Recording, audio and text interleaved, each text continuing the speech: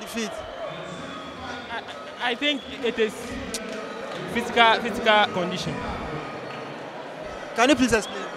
Physical condition is about uh, your the strength that you have, the uh, the fitness that you have, and the fitness also that you have in the ring. My opponent is more stronger than me, and he, he has a lot of energy. That yeah. I prepare I, I prepare for it, but I think uh, this this preparation is not enough. It's, it's not enough. It was kind of tough because I've not had enough rest. We've been sleeping in the kitchen as everybody complains. But I think I did my best. Not my best time though.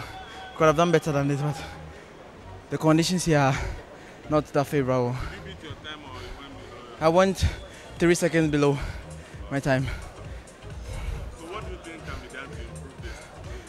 I think we need to get Olympic standard pools in Ghana so that we can train more often because this is a long course 50 meters and I usually train in 25 meters so if I come and swim in the 50 meters it's harder. No, I'm done. I'm done here.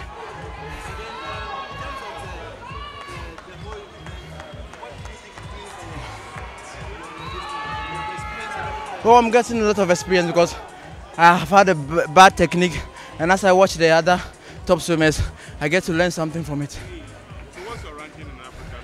I have no idea about my ranking.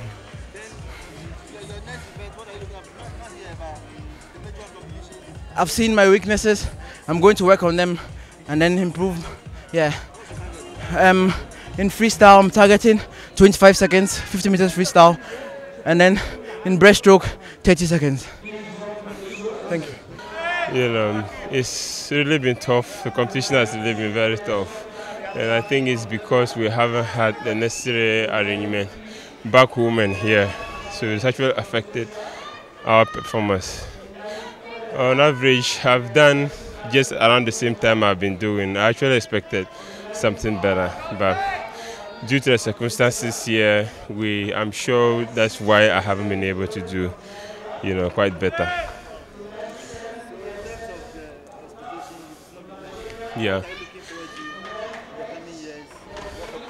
In, in, in the coming years, um, we're hoping to do better. I, I'm sure if um, the swimming association is able to put the necessary place to give us a training home and here, you know, we should be able to do better, you know.